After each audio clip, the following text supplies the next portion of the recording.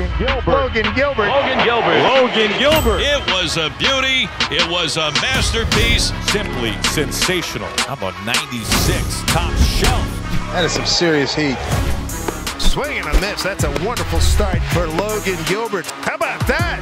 Strikes out the side. He's been a strike throwing machine. Swing and a miss, and he got him with a slider. Logan strikes out Aaron Judge. Swing and a miss. He just kind of chops at it for strike three. He has been unbelievable.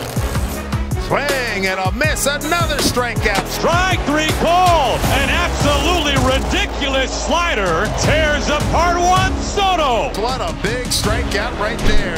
Pure dominance by the Mariners right-hander. Gilbert has been in control all day long. He struck him out. Logan Gilbert, complete game shutout. Logan's got that alter ego. It's Walter. He's a special pitcher.